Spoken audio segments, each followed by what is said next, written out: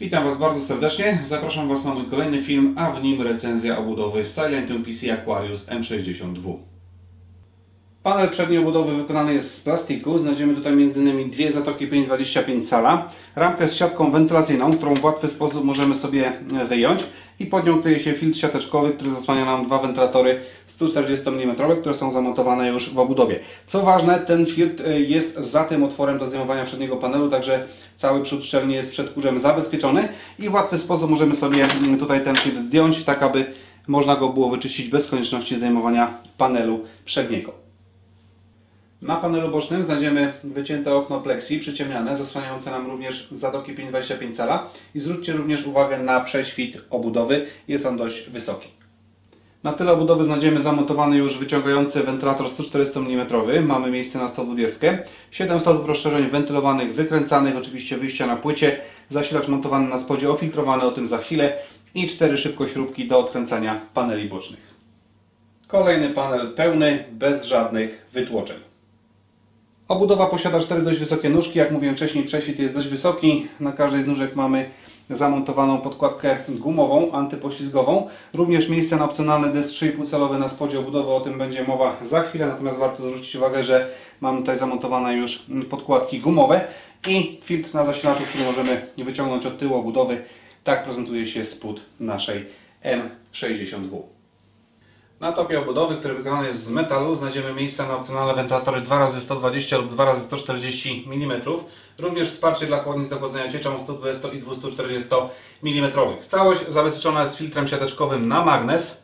W łatwy sposób możemy go zdjąć i wyczyścić. I druga kolejna sprawa, nawet po zainstalowaniu wentylatorów 140 mm, ja tutaj włożyłem dwie śruby. Dzięki tym wyżłobieniom tutaj na, na górze łebki się tych śrub chowają i dzięki temu nasz filtr nie będzie odstawał w miejscach, gdzie mamy zamontowany wentylator, czy to 120 czy 140 mm opcjonalny. Oczywiście panel górny, regulator obrotów na obroty niskie i wysokie. Również wejście na mikrofon, słuchawki, przycisk power z diodą do zasilania, przycisk reset z diodą do dysku twardego, dwa razy USB 3.0 i dwa razy USB 2.0. Za chwilę omówimy sobie wnętrze obudowy, natomiast e, wcześniej podam Wam jeszcze jej wymiary. Długość około 44 cm, wysokość około 47 i szerokość, uwaga, prawie 21 cm. Grubość blach 0,8 mm. Na dole mamy pokrywę, która zasłania nam zasilacz i również klatki na dyski, także możemy w łatwy sposób zarządzać kablami w tej obudowie. Oczywiście mamy specjalne wycięcia chociażby na kabel PCI Express, czy też wycięcia przy płycie głównej do przeprowadzania kabli USB, audio czy od panelu przedniego. Dzięki szerokiej obudowie możemy zmieścić tutaj wysokie chłodzenia na procesor, mówię o powierzchni, do 17,5 cm i długie karty graficzne 38 cm z wentylatorem na przodzie zamontowanym, po wyjęciu tego wentylatora prawie 41 cm. Również wsparcie dla chłodzenia cieczą na górze nie liczyłbym raczej na nic innego jak gotoce, czyli chłodzenia all-in-one z chłodnicą maksymalnie dużą do 240 mm i na przodzie również zmieści Wam się chłodnica 240 mm, oczywiście 120 jak najbardziej się e, również da zamontować. Grubość tej chłodnicy maksymalnie to jest 30 mm, e, w innym przypadku będzie Wam przeszkadzał tutaj ten tunel, nie tyle tunel co pokrywa zasilacza i klatek na dyski. I jeszcze dwie zatoki 5,25 cala beznarzędziowy montaż. Zarządzanie kablami w tej obudowie to naprawdę czysta przyjemność. W niektórych partiach mamy nawet do 34 mm, żeby te kable ułożyć. Poza tym wypustki na tacce od płyty głównej, tak aby je przytwierdzić i w łatwy sposób później domknąć panel boczny. Dół obudowy, gdzie przypomnę mamy zasłonięty zasilacz i klatki na dyski pokrywą, także możemy te kabelki również w tej części dolnej sobie ułożyć. Dwa przepusty na górze, jeden do chociażby kabla EPS, drugi do e, tutaj kabli od wentylatorów opcjonalnych, które można zainstalować na górze obudowy. Duże bardzo wycięcie na zmianę chłodzenia na procesorze, co jest tutaj plusem i powiem Wam, że w tej obudowie proponuję Wam najpierw zamontować mm, płytę główną, a dopiero później chłodzenie, raz, że będzie łatwiej tę płytę Wam do środka włożyć, tam naprawdę miejsca jest na styk. A druga sprawa, że będzie łatwiej Wam chociażby podpiąć kabel EPS pod płytę główną. Przepust taki jeden długi tutaj na całej, może nie całej długości, ale na czwarte długości do przeprowadzania kabli chociażby 24 pin do budowy. To ma swoje plusy i minusy. Bardzo fajnie to wygląda, ale minusem jest to, że niektóre kable ciężko będzie Wam pod płytę niestety podpiąć. Regulator obrotów do 6 wentylatorów możecie sobie regulować spod jego poziomu e, i kolejna sprawa to dyski twarde i dyski SSD. W tej obudowie możemy zainstalować do czterech dysków SSD, dwa tutaj, czyli jeden mam zainstalowany, drugi wyżej, są wyjmowane tacki i dwa dyski na sankach od dysków twardych. E, ta klatka to jest schowana na dole.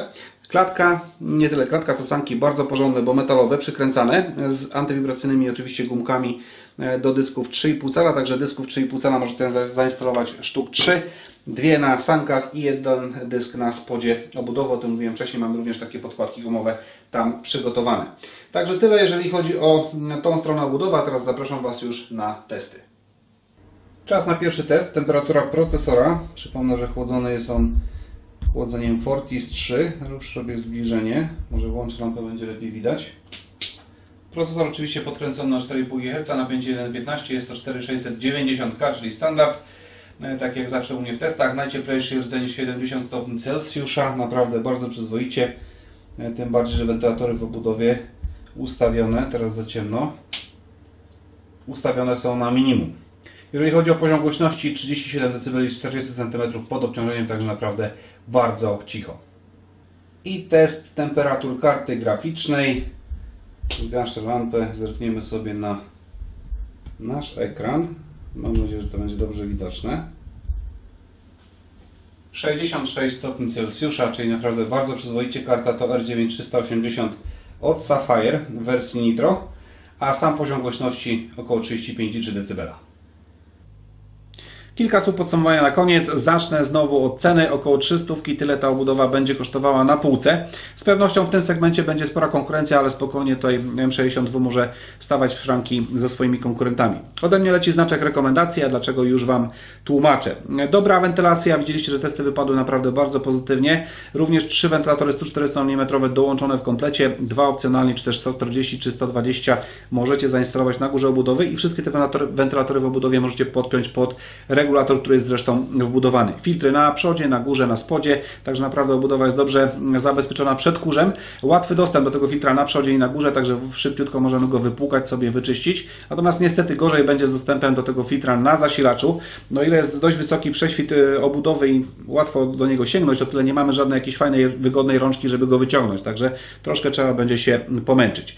Mimo niewielkich rozmiarów ta obudowa naprawdę sporo może pomieścić bo tutaj wejdą na ochłodzenie na procesor, mówię o tych powietrznych, do powyżej 17,5 cm. Karty graficzne długie na 38, w momencie kiedy macie zainstalowane te wentylatory na przodzie. I co ważne, wsparcie dla chłodzenia cieczą. No raczej tutaj bym się kierował ku gotowcom, czyli tym chłodzeniem all-in-one, ale macie wsparcie dla chłodnic 120 i 240 mm zarówno na przodzie, jak i na górze. Także naprawdę obudowa może sporo pomieścić. Natomiast tutaj e, również z tym wiąże się minus, ponieważ te rozmiary, wymiary tej obudowy nie są zbyt duże, to e, jak wkładamy płytę główną już do obudowy, chcemy ją zamontować, naprawdę wchodzi to wszystko na styk, bo mamy z jednej strony klatkę, nie klatka zatoki 525 cala, z drugiej strony wentylator na tyle obudowy i naprawdę ta obudowa, nie obudowa, płyta główna wchodzi dosłownie na styk. Także gdyby obudowa była dłuższa o pół centymetra, to naprawdę zrobiłoby już niezłą robotę. Co mi się podoba, to również ten przepust na kable, dość nietypowo rozwiązany, e, które prowadzimy z, z tyłu obudowy do wewnątrz, chociażby kable SATA czy też e, 24 pin, natomiast to ma również mały minus. Mianowicie będzie ciężko Wam podpiąć kable SATA czy też kabel m, ten USB 3.0 na przedni panel obudowy. Y, Dzięki temu, znaczy przez to, nie dzięki temu, a przez to, że tam jest dość e, kiepski do tego dostęp. Także ładnie wygląda, ale za to e, minusem jest to, że będziecie troszkę musieli się pomęczyć przy podpięciu tych kabli. Plus za to, że mamy zabudowany zasilacz i e, klapki na dyski, także możemy te kable bardzo fajnie ułożyć. Nie są one w ogóle w środku widoczne, co akurat dobrze się składa, bo mamy okno e, w obudowie, także nie będą Was te kable biły po oczach. I również trzeba wspomnieć o e, klapkach na dyski, a dokładnie o sankach. Są metalowe, porządnie wykonane, przykręcane z gumkami antywibracyjnymi. Co do dysków, to możemy zainstalować trzy dyski e, HDD, czyli te 3,5 calówki i do czterech dysków e, 2,5 cala, czyli tak naprawdę umówmy się dysków SSD. Także tutaj tak to wygląda. Chyba nie pominąłem tych ważniejszych rzeczy, także wspomniałem i zalety i wady tej obudowy.